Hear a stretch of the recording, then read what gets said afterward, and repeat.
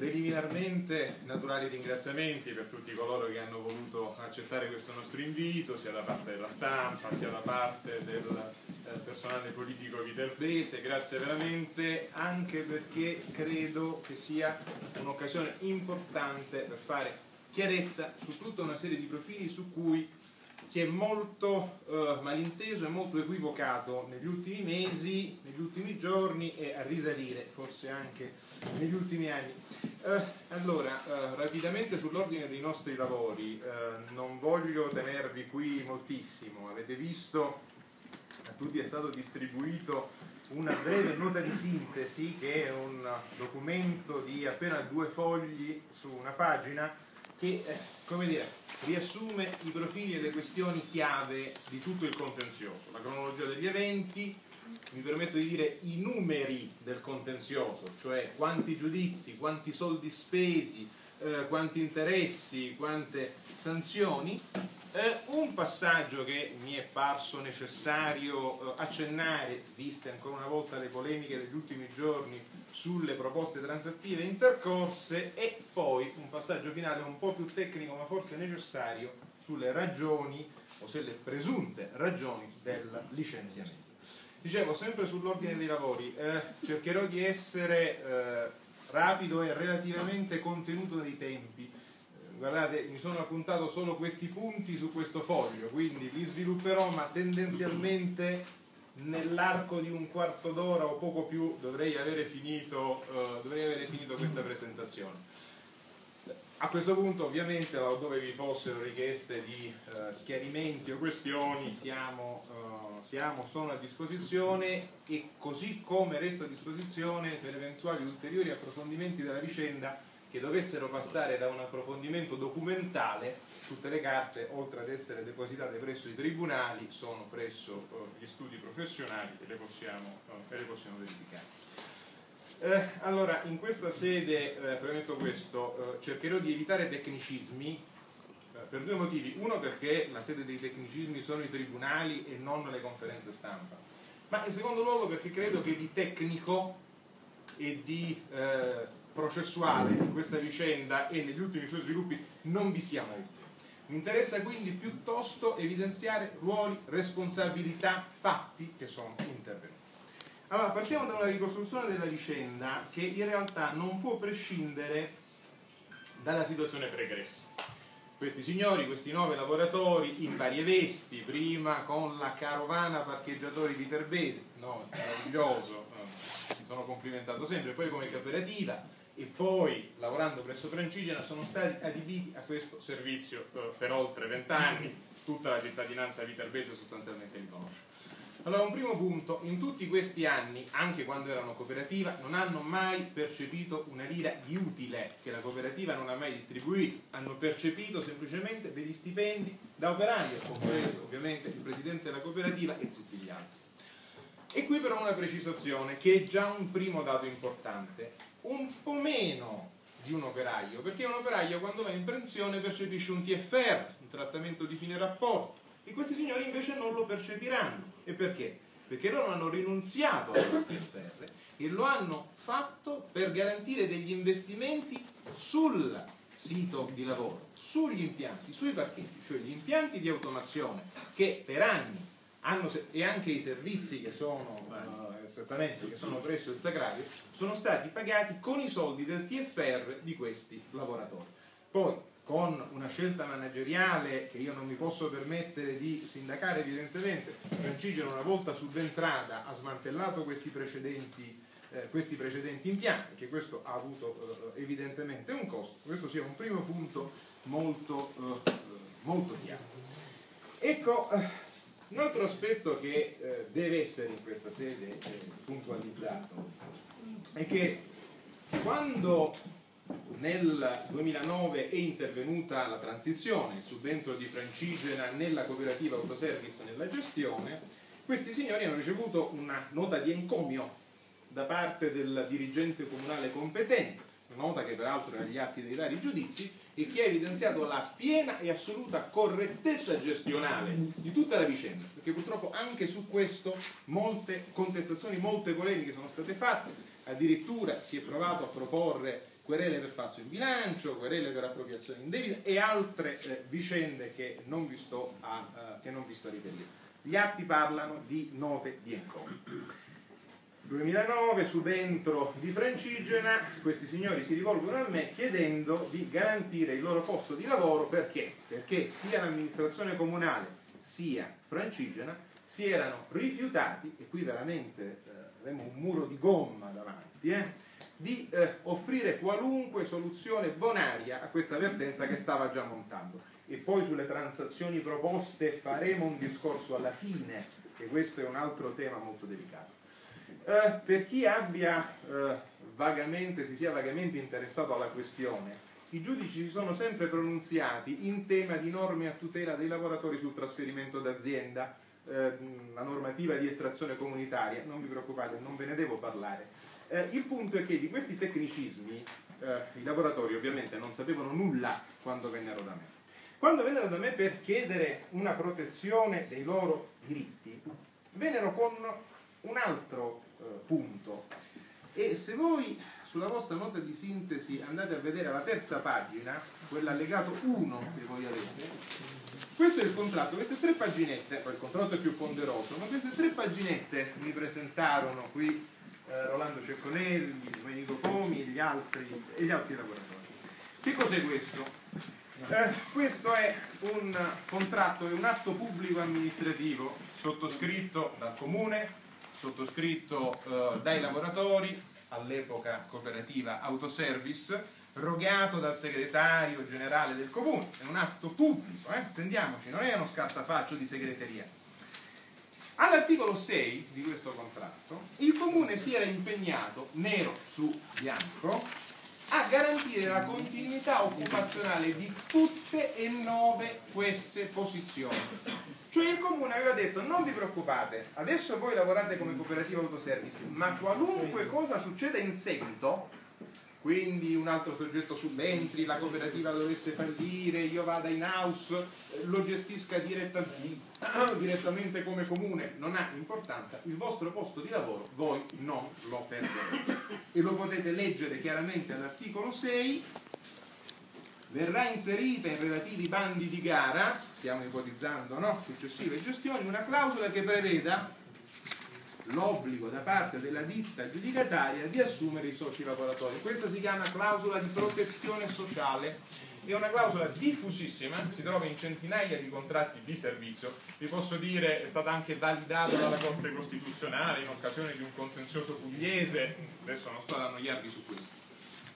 Il comune ha rinnegato questo contratto, si è rimangiato un impegno messo nero su bianco, in realtà senza nessuna giustificazione, perché anche in giudizio, quando siamo andati in giudizio, sono state eccepite bah, vari profili di nullità per contrasto ai principi di concorrenzialità. Guardate, veramente filosofia, nel senso che, ripeto, si tratta di norme assolutamente e stabilmente presenti in tutti gli atti di questo genere.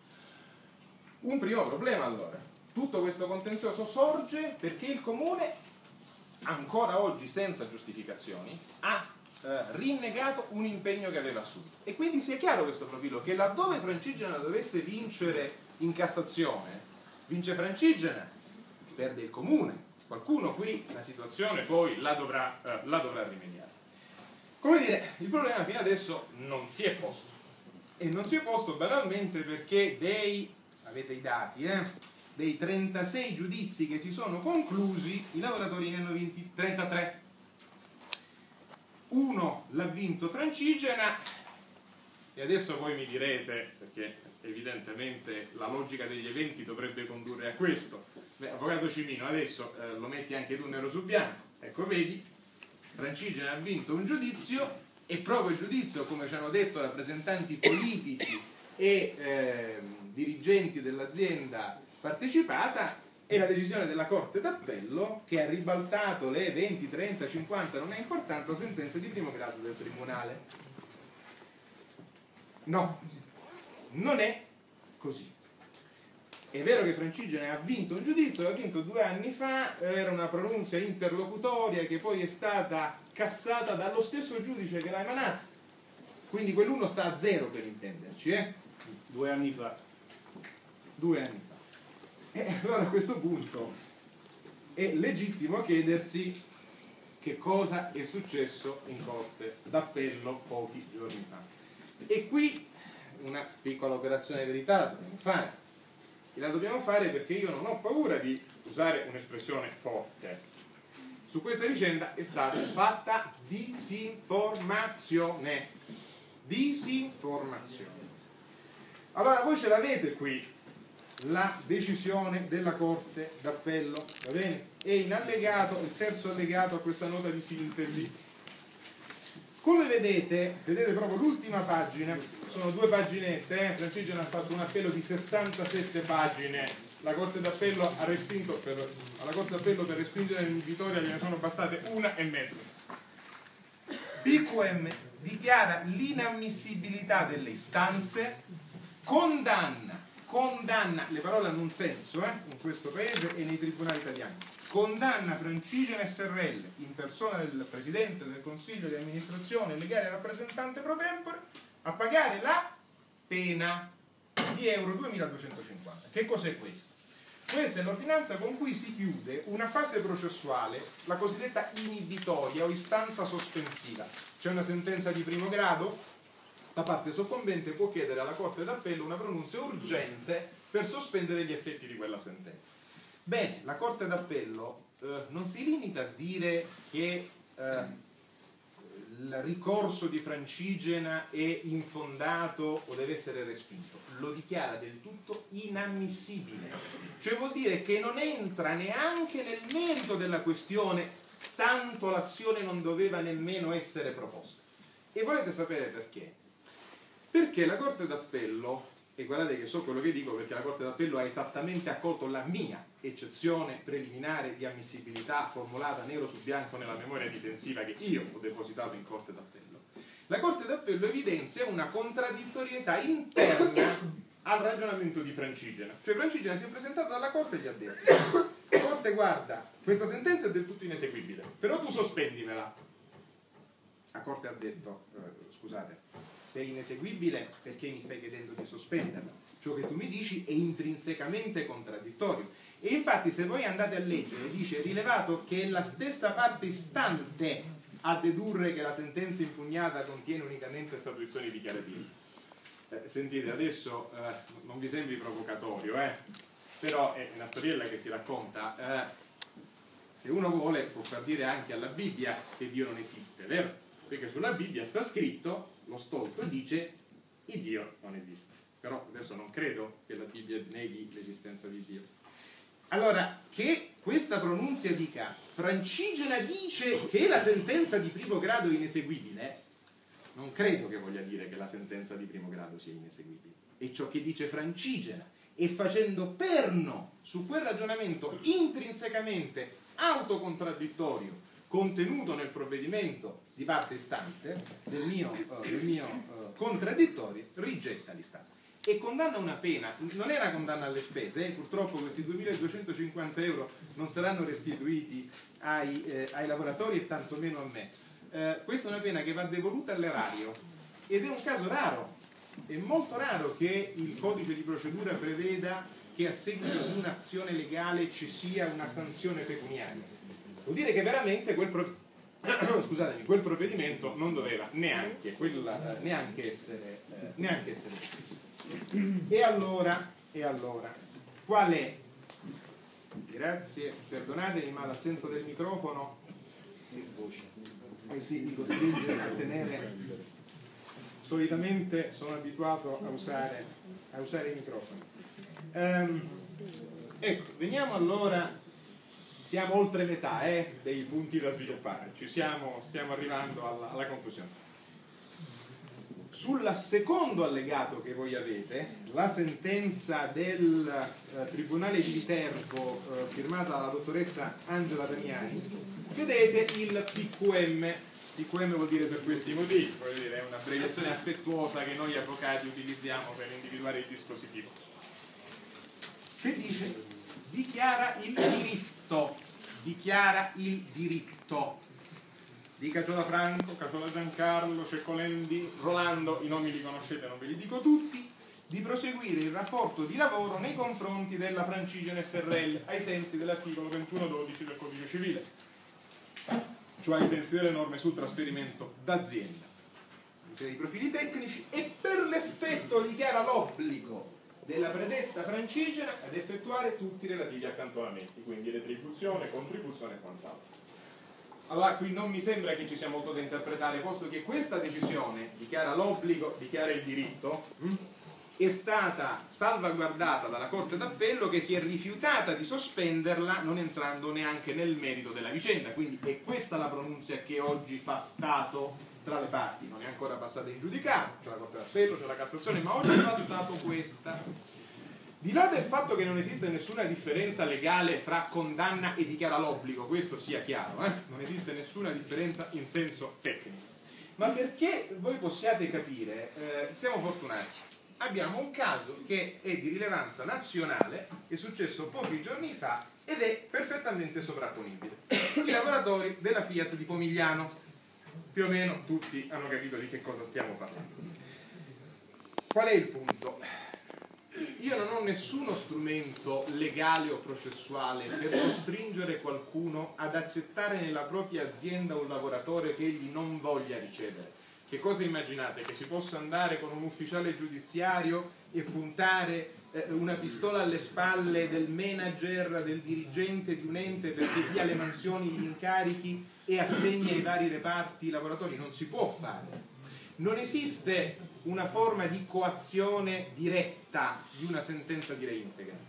Uh, per essere complessi, eh, per essere così artificiosi, noi avvocati parliamo di obblighi di fare in, eh, infungibili e perciò incoercibili. Che vuol dire? Che se il datore di lavoro non è lui che vuole dare eh, le mansioni, non, vuole, eh, non è lui che vuole far rientrare il lavoratore nell'azienda, nessuno lo può obbligare.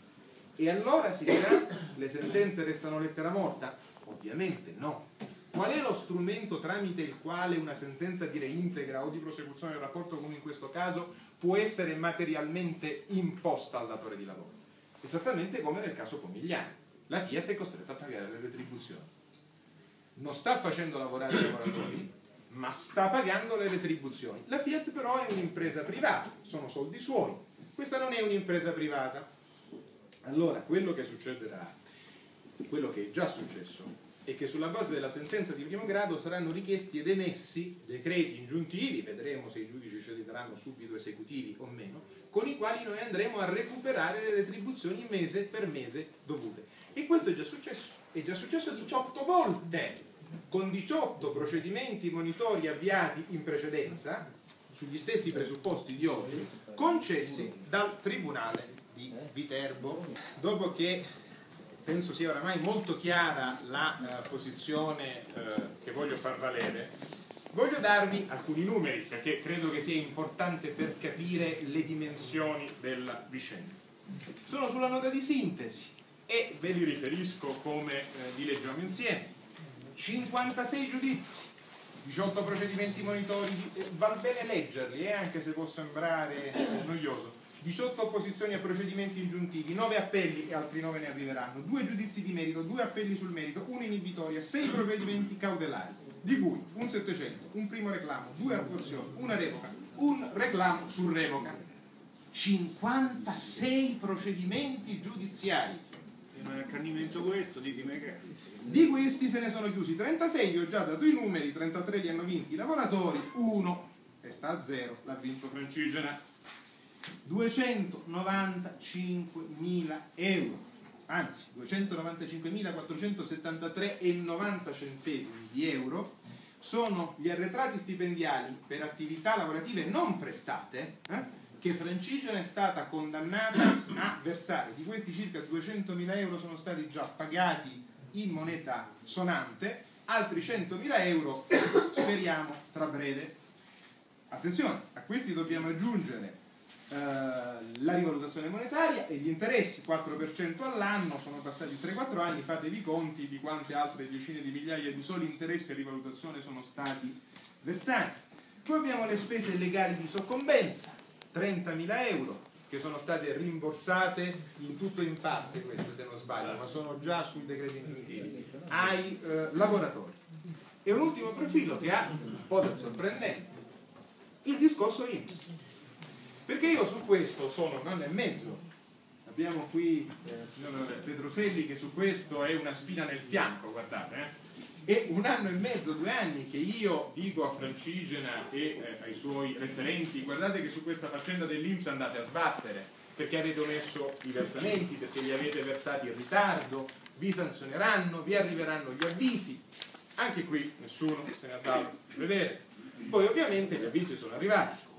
79.436 euro di eh, sì, in parte sanzione, in parte sorte capitale, adesso i dati precisi poi andrebbero chiesti all'Inps, ma i numeri sono questi, verbali di accertamento notificati presso la sede di Francigena da parte dell'Istituto Nazionale di Previdenza Sociale per circa 80.000 euro. Tutto questo chiaramente a carico dei cittadini viterbesi, perché tutto questo è venuto a fronte di prestazioni lavorative non rese, cioè questi signori stavano a casa licenziati senza prosecuzione del rapporto, ma poi Francigeno ha dovuto saldare. E perché? Perché nonostante ci fossero le ordinanze esecutive del giudice Passamonti, del collegio eh, e quant'altro, Francigena con ordini del giudice esecutivi si rifiutava di riassumere. Poi li abbiamo convinti a eh, riassumervi solo grazie ai decreti ingiuntivi, quando sono arrivati i decreti ingiuntivi poi eh, hanno eh, eh, mutato, mutato, approccio. Ancora un profilo, eh, anche quando sono stati riassunti, sono stati sottopagati, gli è stata negata loro l'anzianità, vabbè, ma tanto tutto questo è stato già chiesto ai giudici. Ma questo è un dato però di rilevanza, sono stati eh, lasciati per lungo periodo senza mansioni, in particolare le signore. E questo benché ci fossero altri due parcheggi quelli, eh, voi lo sapete, eh, di Viale Raniero Capocci e di Porta Fiorentina, che venivano trasformati in fasce blu. E le delibere comunali, peccato, però prevedevano che fossero gestiti in struttura, quindi con impianti di automazione e col personale. E guardate che fa una certa differenza, perché se c'è del personale, quello è un servizio che rendo al pubblico personale si preoccupa di assistere l'automobilista, di sbrigare la pratica di abbonamento, eh, venga un automobilista invalido che ha bisogno di un aiuto, eccetera. La fascia blu, sapete che cos'è? Il parcometro, ma poi sappiamo anche come funzionano i parcometri a Viterbo, eh? se metti 10 centesimi di più e non raggiungi lo scatto orario, semplicemente se li mangia, ma questo è un altro, è un altro discorso. Quindi un eh, servizio è stato trasformato in una tassa mentre c'erano quattro lavoratori che potevano essere impiegati, non credo che fossero semplicemente libere strategie imprenditoriali di Francigena, visto che almeno all'inizio, almeno all'inizio c'erano delle libere di consiglio che dicevano, che dicevano altro. Eh, ho appena altri due punti e poi veramente finisco perché mi rendo conto che mi sono preso più del tempo che mi ero eh, riservato. Problema transazioni. Sia chiaro, transazioni non ce ne sono mai state presentate o quantomeno mai transazioni che avessero una base di serietà. E mi spiego.